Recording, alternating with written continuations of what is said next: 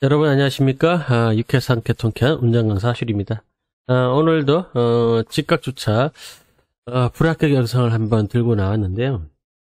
이분은 이제 제 유튜브를 전혀 보지 않으신 분 같아요.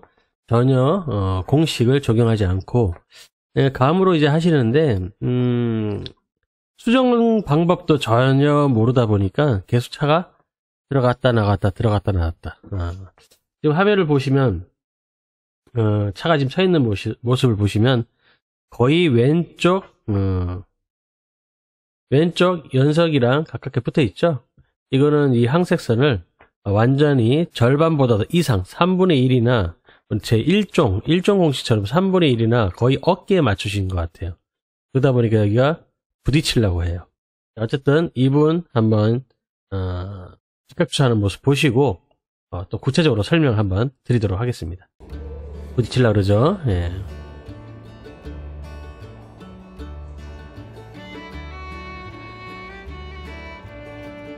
자, 왼쪽으로 더 붙어야 되는데 못 붙어 들어가죠.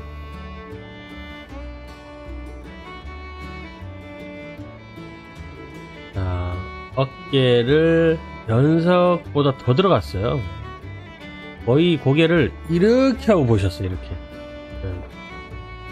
예. 그리고 핸들은 4분의 3바퀴 정도 돼 보입니다.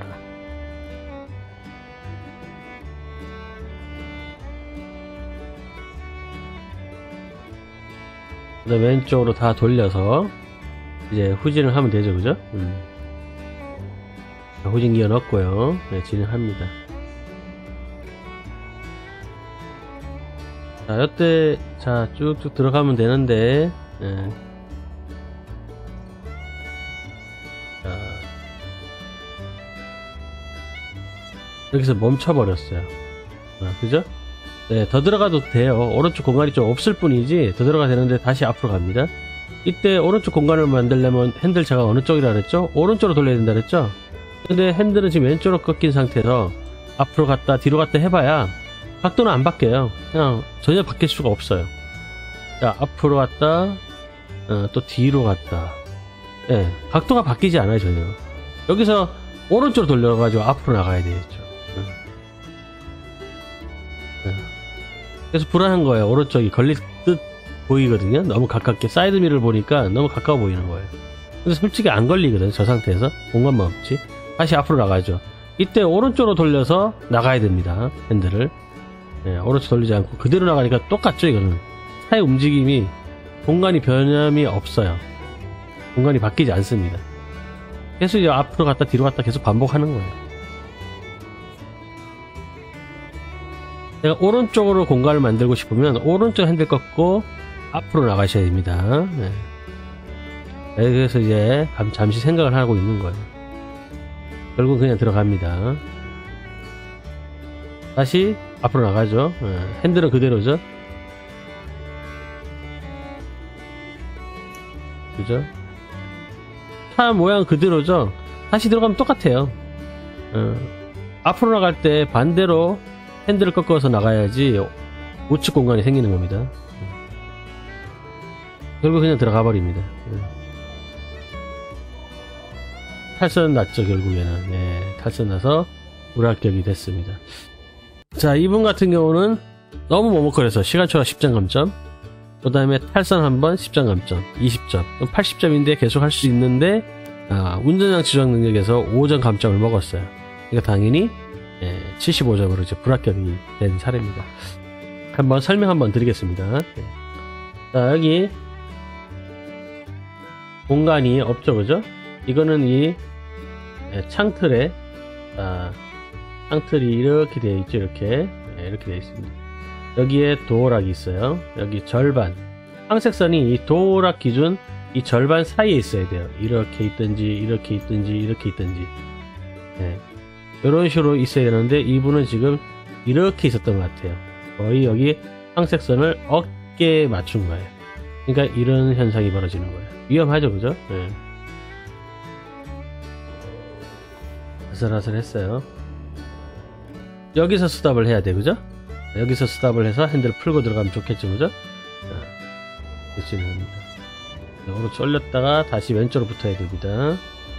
자, 왼쪽으로 못 붙고 약간 벌어지죠, 그죠? 음. 여기서 보시면 자 오른쪽이 항색선 하나 두 개잖아요. 그러면 반바퀴 공식을 쓰는 게 좋습니다.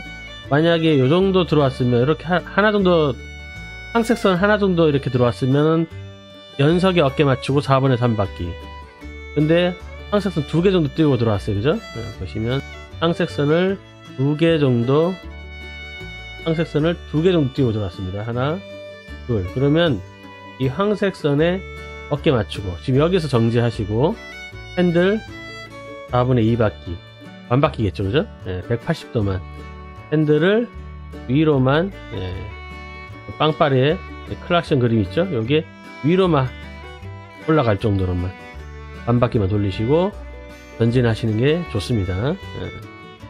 한번 계속. 근데 이번은 이제 어깨를 연석까지 맞추셨어요. 연석. 근데 연석보다 더 들어갔어요. 실제로는. 그러니까 연석보다 더 들어갔기 때문에 더 들어갔기 때문에 4분의 3바퀴가 여기 탈선이 안 난 거예요. 만약에 에, 뒤에서 했으면 탈선할 수도 있어 오른쪽이 만약에 지금 많이 들어갔다 해서 그랬죠? 이분이 몸이 이 정도까지 들어왔는데 여기서 연석을 맞춰서 4분의 3바퀴 하면 여기를 못 붙어 들어왔기 때문에 뛰어 들어왔기 때문에 바퀴, 이 오른쪽 바퀴가 요 항색선 거의 닿을 듯 말듯까지 가게 됩니다. 그래서 이렇게 꺾을 때 요걸 잘못하면 탈선할 수도 있는 거예요. 그래서 항색선에 어깨 맞추고 4분의 3바퀴 하면 거의 바퀴가 여기 붙어버려요. 그래서 걸리는 거예요. 네. 공식이라는 거는 수시로 변할 수 있어요. 내가 어떻게 맞춰 들어왔냐에 따라서. 뭐 크게는 문제는 없는데 이 상태면 당연히 제가 앞 시간에도 말씀드렸지만 여기가 공간이 없어진다 그랬죠? 어, 공간이 없어집니다. 공간이 없어집니다. 이걸 명심하셔야 돼요. 그걸 감안하고 이제 주차를 하시는 거예요. 머릿속에 있어야 돼요. 아 내가 이렇게 잘못했기 때문에 오른쪽 공간이 없다 그럼 오른쪽 공간을 만들기 위해서 내가 노력을 해야 된다는 겁니다. 자 가볼게요. 당연히 오른쪽 공간이 없을 수밖에 없어요.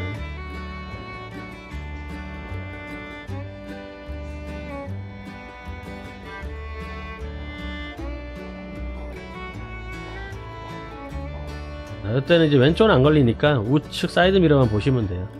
자, 쭉쭉 나가야 됩니다. 더 더, 더. 여기서 멈춰버려요. 그죠? 자, 여기서 지금 멈춰버렸는데 자 오른쪽 사이드미러 봤을 때 이 뒷바퀴가 이걸 걸릴 것 같으면 이 정도까지 와야 돼요. 걸릴 때 말때 밟지만 않으면 되잖아요. 그죠? 밟지만 않으면 되니까 더 여기까지 와서 뒷바퀴 와서 이 상태에서 핸들을 오른쪽으로 꺾어 가지고 오른쪽으로 꺾어서 앞으로 전진을 하면 여기가 벌어져요. 여기가 벌어집니다 네. 그러니까 내가 이렇게 들어온 거잖아요. 그죠? 이렇게 들어오면서 바퀴가 여기 있어요. 이렇게 이제 걸릴 것 같아요. 그죠? 그럼 사이드미러 보고 거의 황색선을 밟아도 되니까 밟을 때까지 오고 그 다음에 핸들이 지금 바퀴 이렇게 꺾여 있어요. 핸들이 이쪽으로 꺾여 있어요. 그죠? 오른쪽으로 다 돌리면 바퀴가 이렇게 꺾입니다. 그죠? 이렇게 꺾여요 바퀴가. 바퀴가 꺾이니까 이 상태로 오른쪽 꺾이고 뒤를 놓고 앞으로 전진을 하면 요런 식으로 하니까 뒤에 요 부분이 요런 식으로 들어가 버려요 앞은 이렇게 들어가고 뒤는 이렇게 들어가고 그러니까 여기가 공간이 생기는 거죠 여기가 공간이 생기는 거죠 이 공간을 만들 때는 그래서 당연히 오른쪽으로 꺾어서 앞으로 전진 근데 여기 앞에 공간이 없으니까 좀 더 뒤로 빼서 이 앞에를 충분히 공간을 만들어 준 다음에 빼서 오른쪽 꺾어서 나가면 여기가 넓어진다는 거. 이 수정 방법을 모르다 보니까 헤매는 거예요. 이 수정 방법을 알면 앞으로 갔다 뒤로 갔다 할 필요 없죠. 어, 이분은 계속 앞으로 갔다 뒤로 갔다 해요. 앞으로 뒤로 갔다 하면 절대로 만들어지지가 않아요 공간이. 어. 자 여기 두 분의 비교 영상이 있는데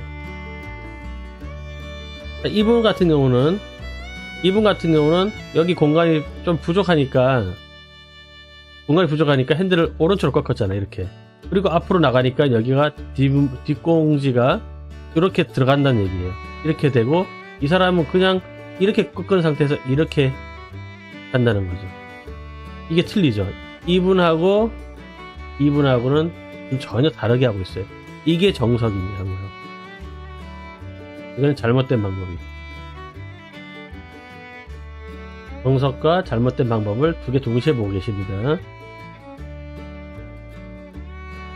보세요. 그러니까 보세요. 공간 넓어지죠. 네. 그리고 수평하고 들어가는 거 보이죠? 36호 차. 근데 저 차는 계속 앞으로 갔다 뒤로 갔다 반복합니다. 이러면서 지금 2분 초가 되면서 10점 감점을 먹게 돼 있어요. 계속 앞으로 갔다 뒤로 갔다 하는 거예요. 36호 차가 더 늦게 들어왔는데 더 빨리 끝나죠, 그죠? 제 수정 공식을 열심히 보신 거예요. 아, 전혀 안 걸리고 36호 차 나가네요. 음.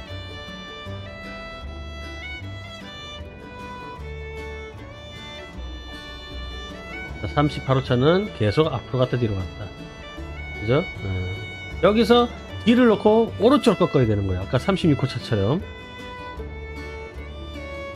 여기서 이제 어떻게 될지 당황해버리는 거예요. 원하는 대로 차가 안 움직이니까, 예, 원하는 대로 차가 안 움직이니까 당황스럽고 그냥 포기하고 시간 밤점 먹었어요, 10점. 밤점 먹으니까 도저히 이제 마지막 시간이 없으니까 그냥 과감하게 해버리는 거예요.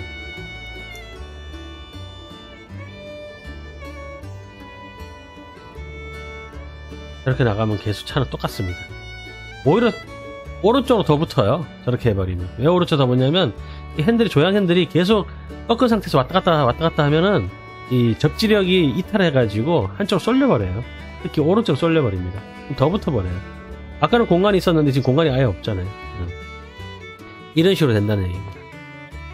그래서 왔다 갔다 계속 해봐야 여기서 보면 이렇게 왔다 갔다 계속 하잖아요. 그럼 접지력 때문에 접지력이 밀려서 이쪽으로 부- 왼쪽으로 붙는 게 아니라 오른쪽으로 오른쪽으로 붙어요. 오른쪽으로.